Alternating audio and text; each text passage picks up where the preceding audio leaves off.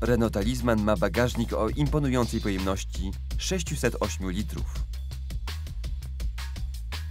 Dzieloną na dwie części tylną kanapę można złożyć, co znacznie zwiększa ilość dostępnej przestrzeni bagażowej. Otwierana klapa w oparciu tylnej kanapy ułatwia przewożenie długich przedmiotów, takich jak narty. Zależnie od wersji dostępna jest funkcja zdalnego otwierania pokrywy bagażnika za pomocą karty Renault.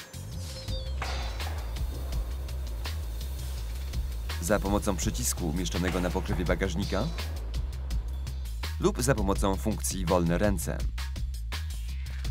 Dzięki tej funkcji pokrywę bagażnika można otwierać mając zajęte ręce.